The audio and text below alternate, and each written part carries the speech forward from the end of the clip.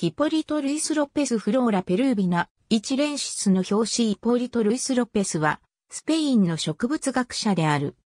1777年から1788年の間、パボンラと共に南米のペルーとチリの植物調査を行った。ベロラードで生まれた。被災であった叔父からラテン語を学んだ後、14歳からマドリードで論理学、物理学、科学、薬学を学んだ。ミガス・カリンテイス植物園で、オルテガやアントニオ・パラオ・バードラの下で、植物学を学んだ。薬学の勉強を終える前に、植物最終探検の隊長に任じられた。フランスの医師、ドンベイが助手となり、薬学者、パボンもメンバーとなった。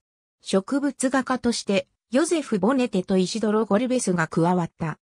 探検隊は1777年にカディスを出港し、1778年4月にリマに到着し、10年間にわたってペルーやチリの各地の標本収集を行った。3000種の植物を収集し、2500の実物大の植物図が集められた。スペインに多くの植物を持ち帰った。ポルトガル沖で輸送した船の一部が難破し、いくつかの資料は失われたが、植物の大部分は良い状態で1788年にカディスに到着し、マドリードの王立植物園に移植された。150の植物の新しい属と500の新種の植物を発見した。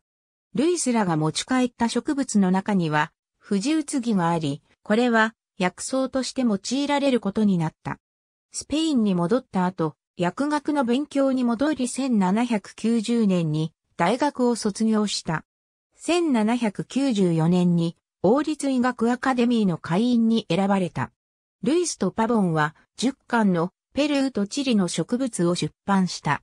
多くの植物版画が添付され、最初の4巻は1798年と1802年に出版され、残りの6巻話はルイスの死後出版された。キナ学、キナの使用法も執筆し、これはイタリア語、ドイツ語、英語に翻訳された。ルイズは植物の学名で命名者を示す場合に、イポリト・ルイス・ロッペスを示すのに使われる。ありがとうございます。